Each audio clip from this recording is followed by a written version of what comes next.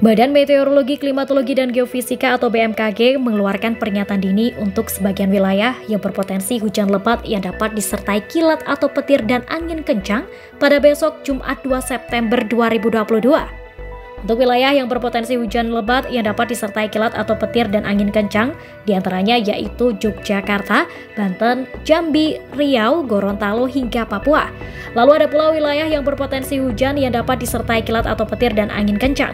Wilayahnya yakni DKI Jakarta, Nusa Tenggara Barat, dan Sulawesi. Selengkapnya, berikut ini adalah wilayah yang berpotensi hujan lebat. Yang dapat disertai kilat atau petir dan angin kencang meliputi Aceh, Sumatera Barat, Sumatera Utara, Riau, Kepulauan Riau, Bengkulu, Jambi, Sumatera Selatan, Kepulauan Bangka Belitung, Lampung, Banten, Jawa Barat, Yogyakarta, Jawa Timur, Kalimantan Barat, Kalimantan Tengah, Kalimantan Utara, Kalimantan Timur, Kalimantan Selatan, Gorontalo, Sulawesi Tengah, Sulawesi Barat, Sulawesi Selatan, Sulawesi Tenggara, Maluku Utara, Maluku, Papua Barat, dan Papua. Kemudian wilayah yang berpotensi hujan yang dapat disertai kilat atau petir dan angin kencang meliputi daerah DKI Jakarta, Nusa Tenggara Barat, dan Sulawesi Utara. Kemudian wilayah yang berpotensi angin kencang meliputi daerah Nusa Tenggara Timur.